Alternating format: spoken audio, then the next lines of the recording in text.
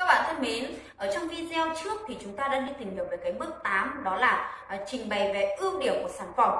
Thì trong video ngày hôm nay chúng ta sẽ tìm đi tìm hiểu về cái bước 9 đó chính là trình bày về giá của sản phẩm.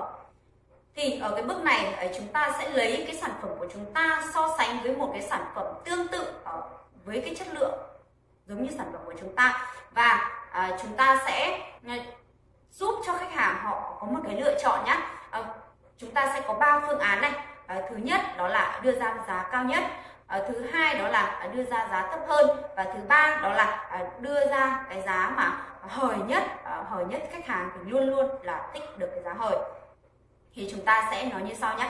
Cái hộp mặt nạ tế bào gốc nhau thay kiểu đẳng cấp mà lúc nãy em giới thiệu cho chị đó ạ. Nếu mà chị mua một hộp lẻ thì nó có giá là 490.000 một hộp. Nhưng à, nếu mà chị mua cả một liệu trình thì nó chỉ có 330.000 trên một hộp thôi ạ.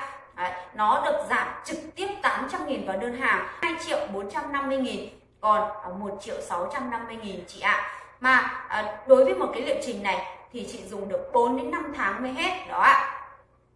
À ở đây thì chúng ta sẽ nhấn mạnh về sẽ cái nhấn mạnh về cái uh, cái cái giá hời để cho khách hàng họ họ luôn thích được cái giá hời và nếu mà khách hàng họ vẫn còn đắt quá thì mình sẽ sẽ nói với khách hàng này à chị ơi ờ, mọi sự so sánh mọi sự so sánh thì đều nó đều có cái sự uh, chênh lệch với nhau nhưng uh, chị đang muốn hết nám hết mụn hay là chị quan tâm đến giá tiền ạ à? à, đó mình sẽ hỏi với khách hàng như vậy đó. thì uh, qua cái video này thì chúng ta đã biết được cái cách là uh, giới thiệu cái sản phẩm giá tiền của chúng ta cho khách hàng.